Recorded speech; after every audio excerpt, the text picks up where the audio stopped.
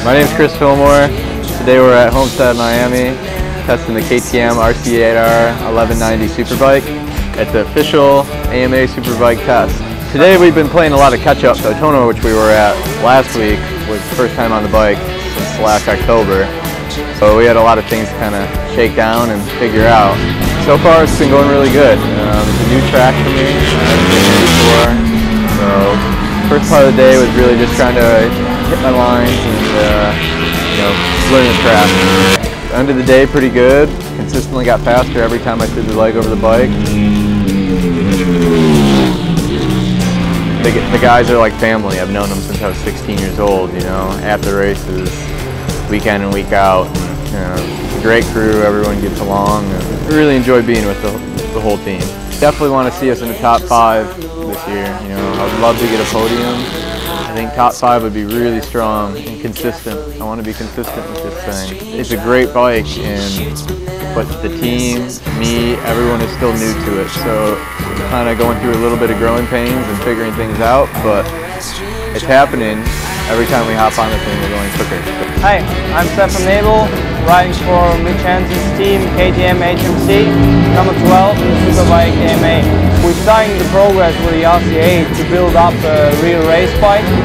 Yeah, we developed it now for three and a half years and every year we're getting better and better and we will see how it will be here in America.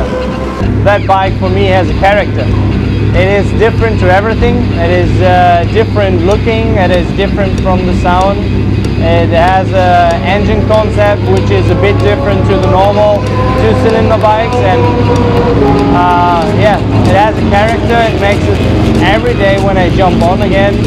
And I'm surprised how good it is and what you can do everything. For me, it's the best bike I ever ride and that's also the reason why I want to stay by KTM I want to ride that bike as long as I can. My goals are pretty, pretty hard to find out because uh, I'm not known to the track, I'm not known to the riders, I'm not known to even the tires, the, the compound of the tires. So for me, I have to be, yeah, being even today on ground zero.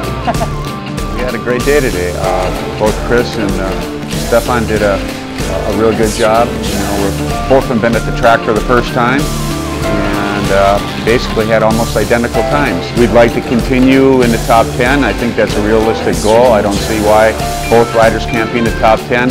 I believe both of them are capable of breaking the top five and if we uh, if we get on the podium once or twice this year, it won't, it won't surprise me.